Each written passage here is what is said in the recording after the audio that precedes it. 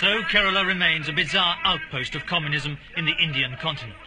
And top communist leaders like A.K. Gopalan seem disastrously split over Russia and China, as I found out when I talked to him on his tour of Kerala. Do you think the Chinese Communist, now, the Indian Communist Party, now it's split between China and Russia, See, can here- ever be effective in India? No question is, I see, as far as the Indian people are concerned, there is no question of China, China communists or Russian communists. Here, the question is, after independence, the people here want some job.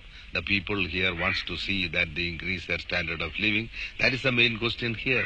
Yeah. So, if you mix up, you see China or Russia, and then say something, you see, the people here, that is not their problem. Is that they want, you see, that whatever development is there, the people must have a share in in that development. But I'm not mixing it up. It's the Indian Communist Party that have split into two parts and are even fighting that each is- other in the election. That is an ideological thing. That has nothing to do with the administration and other things of the But you can't get together. You can't get together. can That you? is another question, you see.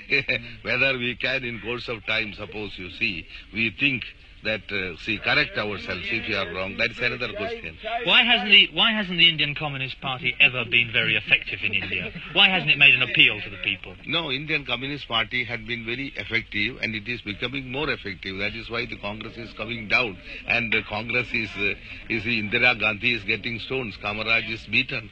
So that does not show that is it.